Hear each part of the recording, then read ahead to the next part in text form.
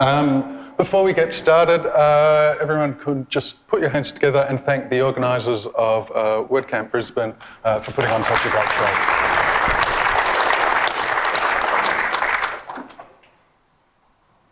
Uh, growing up, uh, we were a Fairfax family in that way that back in the 80s, uh, people had to actually go to a milk bar to buy a paper so they could read the news over breakfast.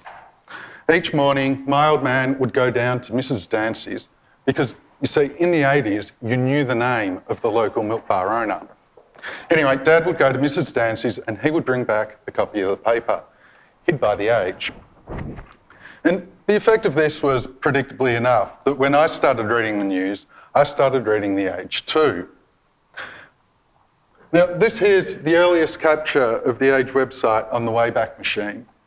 And by this time, I was already a regular user of the net, so fairly soon after it went online, I started reading the paper online for free. It was great.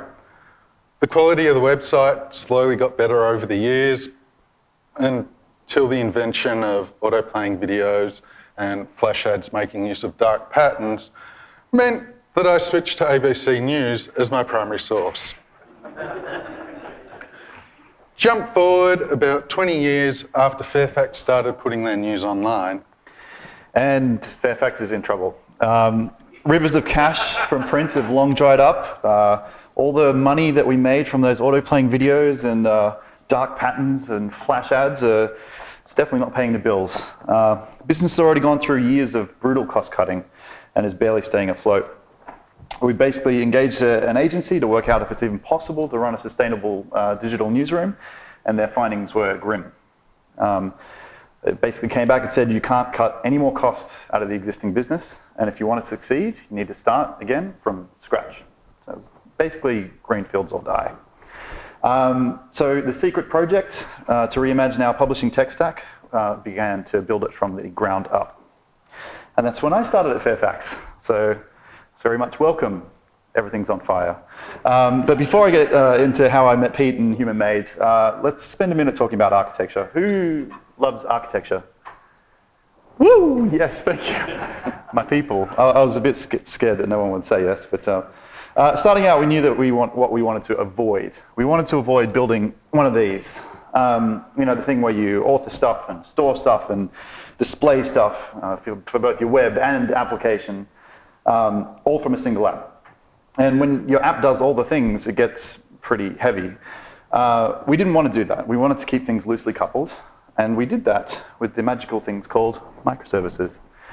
Um, this is a super high altitude diagram of our environment today. Uh, we have journalists down here authoring content, and readers up there reading, consuming the content, and in between, magic. Um, When I first saw this as a full-time WordPress developer, I was terrified. Excited because I'd heard about headless WordPress and, and you know, it was exciting and it was something I wanted to try, but also incredibly terrifying. Um, you may be sharing some of the same thoughts that were going around in my head at the time, like, this looks really complicated, and why would you go to all the effort? Um, well, look, web and app delivery were our main concern when we started, but we also had to consider known unknowns. Um, what if voice assistants really take off? What if the next Oculus goes mainstream? Um, we wanted to try and avoid, we wanted to try and make sure that we could, whatever we built would be able to deal with those uncertainties and those disruptions without having to throw it all out and start all over again. Didn't make sense to lock the, the display capability um, of our site to that of our CMS. So we knew that whatever we settled on, the display would be separate from our authoring system.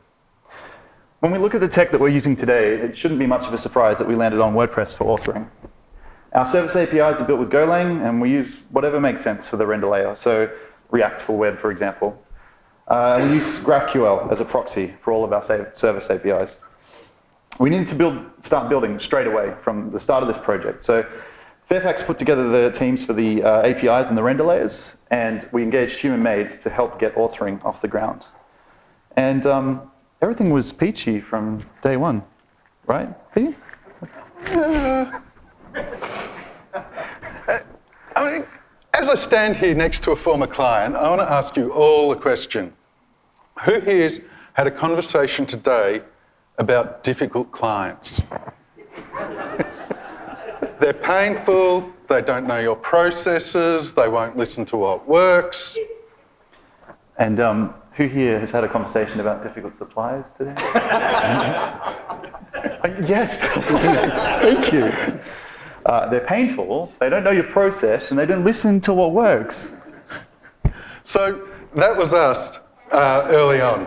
We both arrived with ideas of how we wanted to start the project based on how we'd run projects in the past.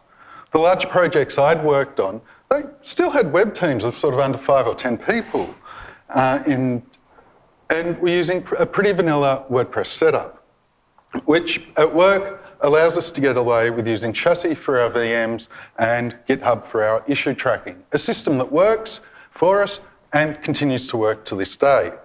However, the Fairfax team all came from an agile background and had plans for much, a much bigger team than five or 10 people, which, for the first time, for me at least, meant using Jira and switching from GitHub to Bitbucket. And as always, when you're using tools that you're unfamiliar with, it can lead to a level of frustration. And that's before I mention the meetings. Monday, stand up, backlog grooming. Tuesday, stand up, estimation. Wednesday, stand up, sprint planning. Thursday, stand up, town hall. Friday, stand up, showcase. And sprint retro. But it's agile, so they're not called meetings, they're called ceremonies. and the most important meeting, oh, sorry, Ben, ceremony, mm-hmm. was estimating each ticket and assigning a t shirt size or a number of points based on the Fibonacci sequence. Not once do you dare mention how long the thing might take. And for the first few months, we sucked at it. We'd pile in the points, not really knowing how many t shirts we could fit in our suitcase, only to reach the end of the sprint goal and to, uh, at the end to meet, reach the end of the two weeks and miss our sprint goal. Um, I have to be completely honest, and we should be fair though. I did not make this easy on Human Made at all. Um, we made them switch from chassis to Docker and from GitHub to Bitbucket. And also, I was dropping PRs like this at uh, 2:40 a.m. of the day of the showcase to make things look nice, um, which I merged without the required approvals. Um, this didn't come across too well for some reason, um, so I stopped doing that. Um, but moving away from chassis was a really big deal. It was, it's HumanMade's in-house dev platform. It was built for purpose, had everything they needed. And our dev tools were nowhere near com as complete, but they were our dev tools. And if I'm going to be super passionate about something and pushy on something, it's going to be about removing drift from dev environments. So I made this uh, CLI tool called Bluestrap, and it was designed as a day one install. It would make sure everyone had the same dev tools, config across the board. It would download all the repos, start everything with a single command the entire stack. There's going to be WordPress and the APIs and the render layers and everything. It's going to be awesome. Except it wasn't. Um, in the early days, Bluestrap was super opinionated and it was incredibly rude. Um, it had a list of stuff to install and it would just do it. It did not care for your existing applications and configuration. It didn't support Xdebug. And Docker for Mac was just, well, volatile. And as we built more stuff, Docker ate more and more RAM, and it's just, it took us a while to get things right. On the upside, though, once Bluestrap was stable, it was great. We could test everything from the CMS right through to the website um, without actually leaving our computer. Does the shortcode populate the website correctly? boom, we can open it up in the new Brisbane Times website, so that's, uh, new Brisbane Times website that's running on our own, own computer. So it took us a while to find our rhythm, but it didn't take too long until we were building some pretty cool stuff. And today we're going to go through some of the bigger items. Starting with the media library, it was one of the earlier features we started on, and it was basically to enhance it. Now, this is the default version from my site. Um, the Fairfax site um, has far few, fewer of my holiday snaps from a trip to New York to see musicals. And in the default media library, to upload an image, I drag it into the uh, window and I drop it. And the image is up, upload, the, the image is uploaded. It's added to the library. It's not an uncommon interaction um, by any means, but it's a really nice one all the same. And it's one Fairfax wanted to keep. What they didn't want to keep were some of the limitations of the WordPress library. Each image is limited to four crops, and these crops are applied globally, and file names are not systematic. Switching over to the Fairfax library, it looks much the same, and this is quite deliberate, and behaves the same. Now, this is the local version from when I had a development server, because the real thing has many thousands more photos, and they're not all from the Tony Award winning musical Dear Evan Hansen. And while it looks generally the same, there's a lot more happening in the background. Let's start early on in the journey. A journo wants to upload an image to the library. The first thing we do is rename that image to a hash of its contents. Among other things, it allows us to discard duplicates immediately. It also provides the nice systematic um, file names that we were missing earlier. It's then that some interesting stuff begins to happen. Remember this diagram? Instead of storing the images in WordPress, we hit the Fairfax built media API and their media team deals with serving the images to the site. The moment the journalist releases their mouse on this screen, uh, we take over from WordPress. The browser uploads the image to the server and our code converts the data to the format required by the Fairfax API and sends it across to their server. As we no longer need the image in WordPress, we delete it immediately. So that's how we've handled uploads. Let's take a look at what happens when Journo wants to use an image in their article. In particular, what happens when they first open the media library. WordPress returns the data in a nice enough format, but it's nothing like the uh, data that the Fairfax API returns. Because one of the nice things about systematic URLs is that they're, well, they're systematic. So the Fairfax API only returns the most basic of information. We needed to convert it to something WordPress understands, but we wanted to write as little code as possible. Um, WordPress expects these responses, though, to include various sizes, but we've got dynamically generated URLs.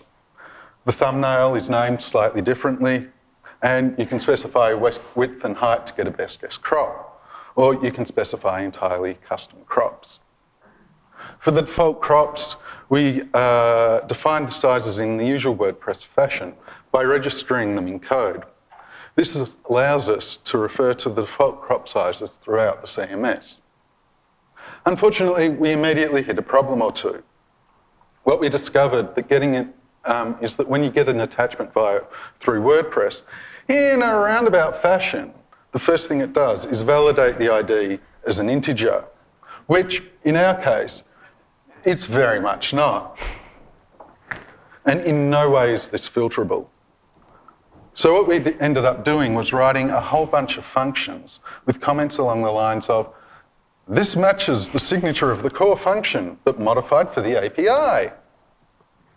We wrote them as often as possible to match the core signatures, to be kind to the developers that came after us, which is often our future selves. I, and a lot of other WordPress types, know that core attachment metadata is an array of the original image dimensions and the resized image dimensions. Our modified function in, um, returns it in pretty much the same format. By getting WordPress to return data from our core equivalent functions uh, in a correct format, we could convert the data from the Fairfax Media API to a format expected by the media library in WordPress. If we look back at the default media library, the one full of My Holiday snaps, the client-side code is actually made up of dozens and dozens of components. By doing the work to convert the data on the server, it allowed us to make the changes to the client-side code a relatively light touch. Or more to the point, it allowed us to focus our um, client-side changes on more difficult elements, such as when it came, came time to replace the default insert selection with something much more useful for inserting an image into an article, which did require that we started to build some completely custom components to manage them. These custom components allow us to change the URL of an image and um, for a journo to customise the crop. Fortunately, we didn't need to worry about saving these changes to the Fairfax Media API as they're modified on a per article basis. That was the specific goal, for the crop to become part of the content and be transmitted across as part of the article's content rather than the images. So Pete's touched on some of the reasons why the default media library wasn't really suitable for the newsroom. Um, I'm going to come back to one of those uh, for a moment, the global crop issue. One of the reasons we landed on Cloudinary as our, our imagery sizer is because I wanted to experiment to see if we could build something where the newsroom didn't actually have to crop anything at all. Um, product came up with four different ratios that we needed to support so stories would display correctly across different devices. Um, so that's four separate crops for every article that's produced in the newsroom. And it doesn't sound a lot, but when you're churning out a lot of articles every day, that's, that's quite a bit of strain. That's quite a bit of time for the newsroom to spend. If we use WordPress global crops in the example here, we'd probably end up with a center crop, just like this one here. Um, these are passable here, but just. Um, have you tried a center crop on red carpet images? That's a no dice. You can't get away with that. Forget about it. Cloudinary ships with uh, content-aware cropping, um, and it's awesome. By adding a single parameter to the image URL, we get a much more interesting set of crops. And for a time-poor newsroom, this is a huge time saver.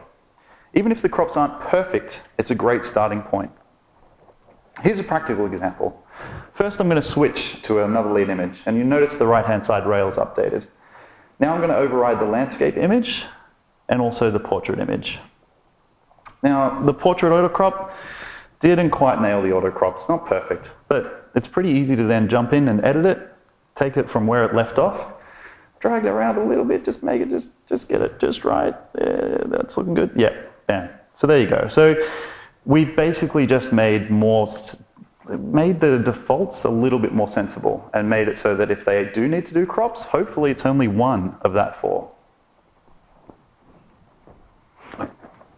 Modifying the, the default publishing and workflow, features was one of the biggest challenges we made, changes we made to bump the CMS into something that you could consider enterprise. Among other things, we took the default WordPress publish box and replaced it with what we modestly called the publish box of the future. And while lacking in hubris, it actually started out as a convenient name while we were building out the UI because it allowed us to distinguish between the one that worked and the one that would work in the future. If you ever find yourself in a position where you need to make anything more than just minor changes to the uh, WordPress publish box, may I suggest this is your approach? kill it. Kill it dead. Like, it will get in the way, honestly. We replaced it with our own MetaBox and built it out in JavaScript. One of the goals was to avoid full page refreshes, which means saving and publishing via the WordPress REST API. This involved customizing the post endpoint and adding a whole lot of our custom data to it. We needed to add a custom property for each item of metadata that we'd added to the edit screen. In our case, this was quite a lot.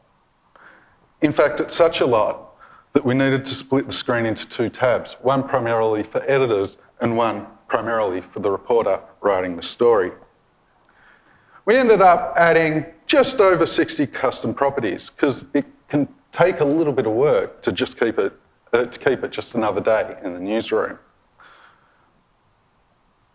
As part of adding these custom properties to the edit screen, we needed revisions to include an, a bunch of additional content stored as metadata.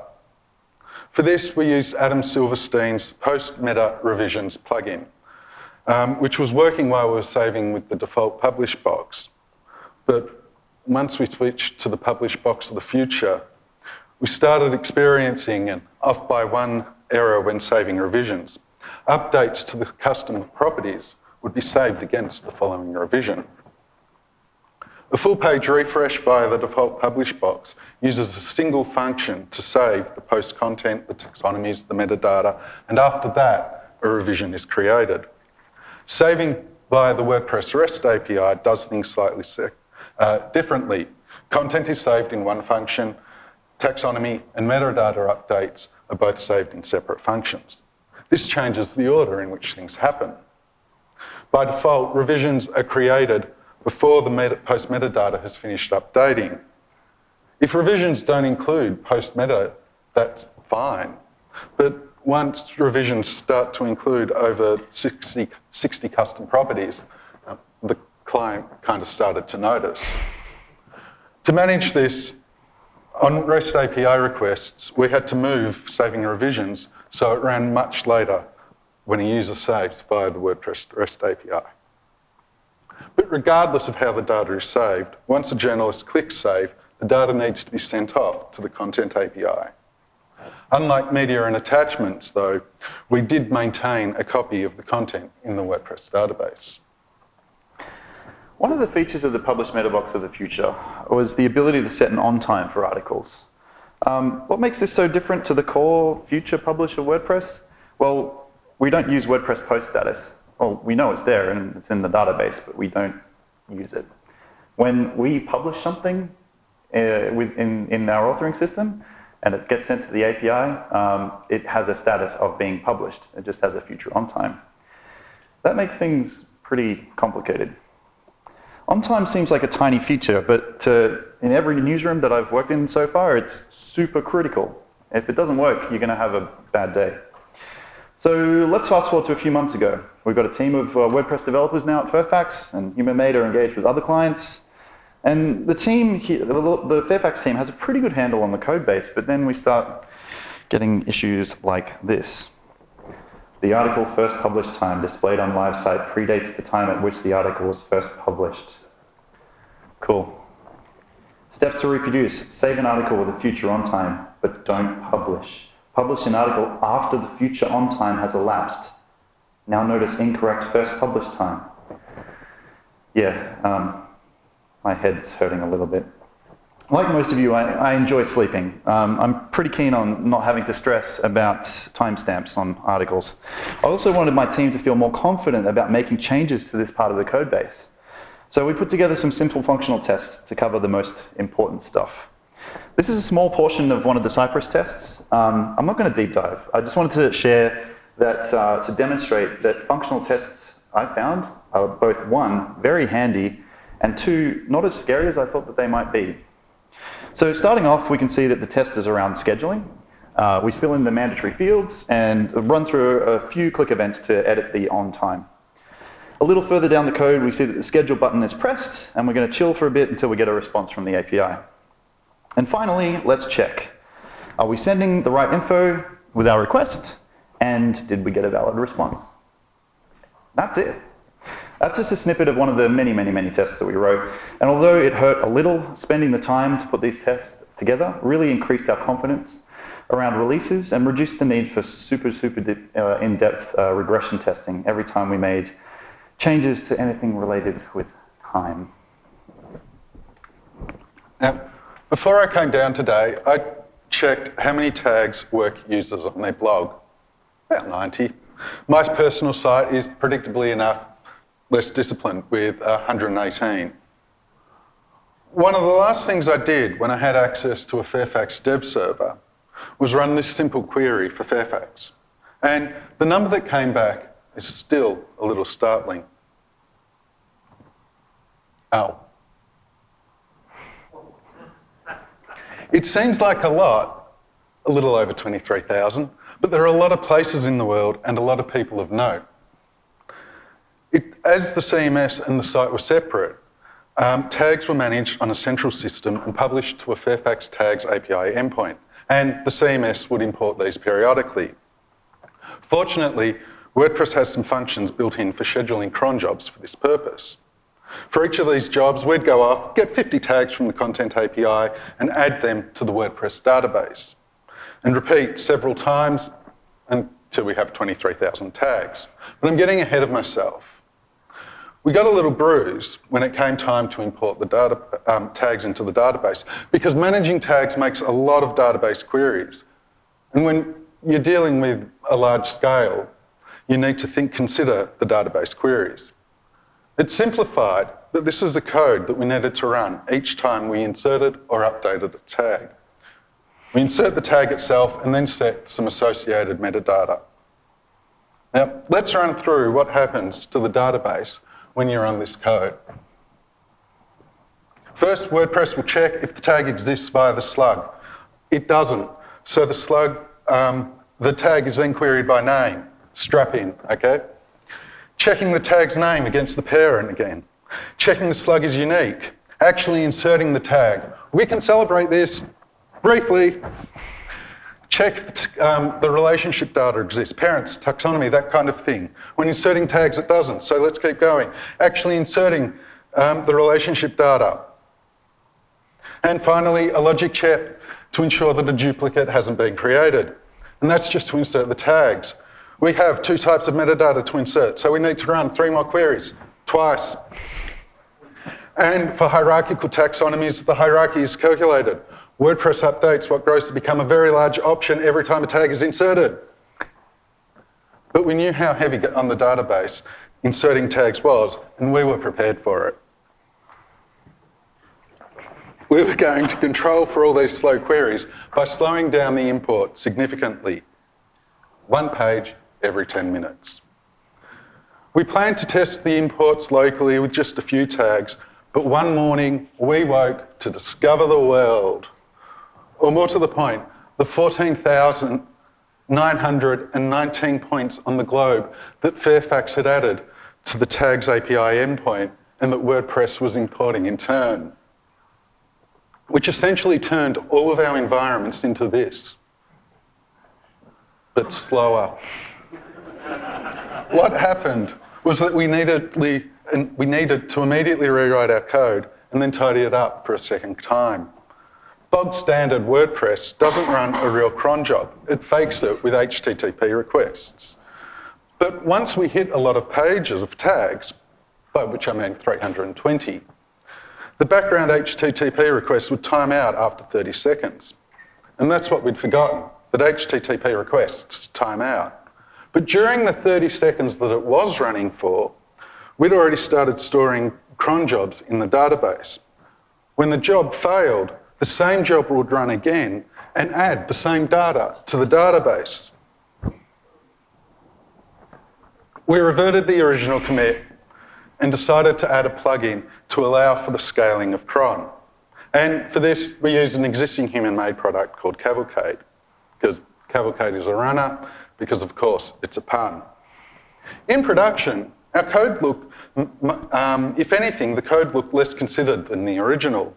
Instead of throttling the imports, we scheduled them to happen immediately, all 320 pages. Well, by the time we deployed this code, all 460 pages. In the first iteration, we were slowing down how often these jobs could run. In the second iteration, they couldn't run often enough. In the second version, the import jobs run much as before, but because we're using a process runner instead of HTTP, an HTTP request, we didn't have to deal with 30 second timeouts.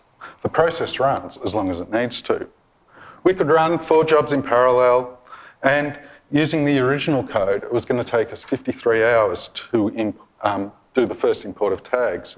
The new code allowed us to do it in around 30 minutes.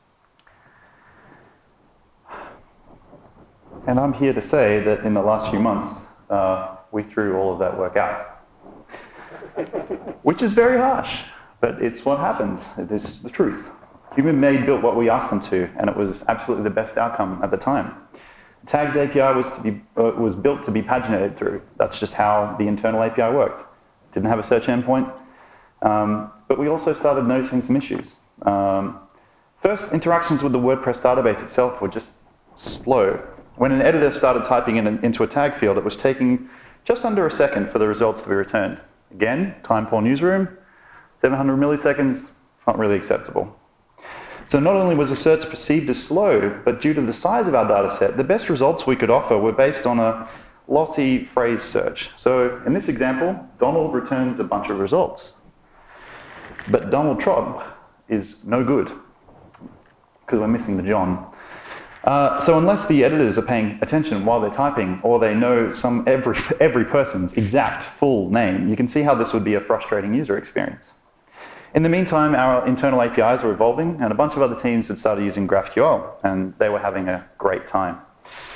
So we made the switch. Instead of asking WordPress for our tags, we asked our GraphQL layer instead.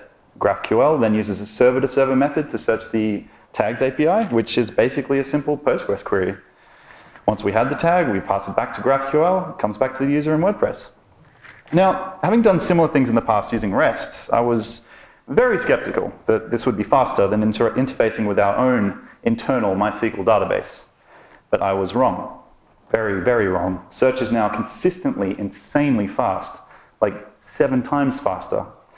The other huge benefit is that we're interfacing with the API itself. So no more imports, no more duplication of data, and if a new tag's added, it's, we don't have to wait for the next batch import. It's available to the newsroom within milliseconds. So not only was it seven times faster, but old mate Trump could be found by the newsroom with ease. Finally, as a quick demo, just to show that I'm not making it all up, the left example is interfacing with the WordPress database, and the right is interfacing with GraphQL. The WordPress search for North Korea fails as it's actually the Democratic People's Republic of Korea. Uh, I'll play it again, and you can just watch how fast those results are coming back on the right-hand screen with GraphQL. It is very fast. So Ben and I have just spent a good chunk of time talking about the code we wrote on this project. On the human-made side, this is who we are. When Ben and I talk about us and we, that encompasses a lot of people. It encompasses uh, XWP, who helped build out our live article interface. It encompasses Ben May, who helped at the very beginning of the project. And of course, it encompasses the teams at Fairfax who are working on the product today. In total, there are 37 people who have non-merge commits on the project, about two-thirds of which at one point or the other were doing full-time work, dedicated work just on the CMS. As Human Made wrapped up on the project, between the companies that had worked on it, we'd made around about 11,500 non-merge commits. Since February, this number has grown to just shy of 16,000, and we also have a, a few more tags. For many of these commits, most of them in fact, my job was code review. It got to the point that introducing myself on more than one occasion, I made the joke that my job is code review and fooling myself that this sprint I really will get to pick up a ticket. As the team grew, I ended up spending 40 hours a week reviewing code. I didn't write this code, the team did. And when you take merge, into, merge commits into account, about 3% of total commits is just me clicking the merge button on a PR after it's been approved. It's very easy to think of code review as unproductive time. One of the biggest lessons I learned working on the Fairfax project was that code review is productivity. And that's my guilty secret. I enjoy code review. My guilty secret is that I like Pete doing code review because um, he's excellent at it. But I also think that code review is a big part of what separates the work that I've done elsewhere at other newsrooms with the work that we've done at Fairfax. I think it's what uh, makes the project feel enterprise. When you've got a big team and you're releasing to production daily, uh, you've got a few hundred people in the newsroom relying on your platform, spending time on code review is no longer a nice thing to have. It becomes a crucial part of your process. August 27 was an exciting day for me last year. It was about 10 months after we'd started uh, work on the CMS, and it was the night that we launched Brisbane Times. I was in the office, uh, sweating profusely. Um, I was at home drinking a really nice glass of wine. Yep, which he let me know on Slack. Thanks. Uh, our product and render teams had put countless hours into delivering a better experience for our readers. But that's not what I was really excited about. I was excited because this relaunch signaled that the Brisbane Times newsroom was using WordPress as their primary CMS. The immediate feedback that we got in the days following was that it was just another day in the newsroom. And it was our job to give the newsroom the tools that they needed to do what they do best write award winning quality content and we've done our job well. Thank you. Thank you.